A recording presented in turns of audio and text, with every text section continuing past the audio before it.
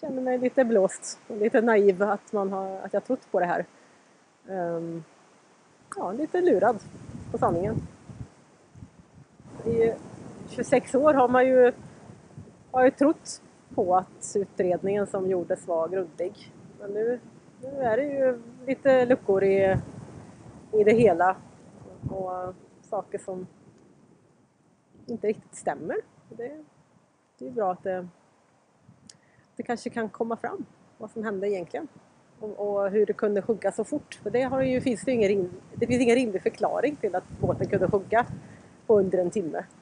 De dokumentärfilmarna som har gjort den här filmen de riskerar ju själva straff nu då för att de har dykt vid Estonia. Mm. Hur känner du inför det om de skulle få straff?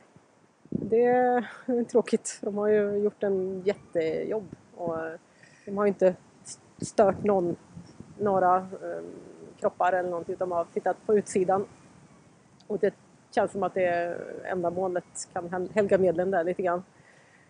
Så att jag hoppas att det blir nedlagt, deras skull. När du såg dokumentären, var det någonting som berörde dig extra mycket?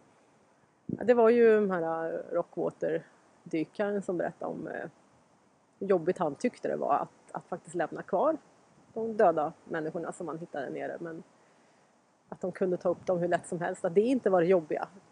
Att det jobbiga var inte att ta upp, hantera de kropparna utan att faktiskt låta dem vara kvar. När de utan problem kunde få dem med upp och folk, 125 personer kunde fått hem sina kära. Hur ofta tänker du på det som hände? Nu lite mer på hösten.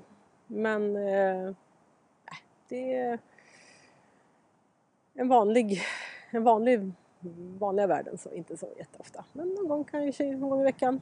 Ändå. Tog det lång tid att komma tillbaka till något normalt liv efter Estonia-katastrofen? Det tog ett par år ja. Det gjorde det.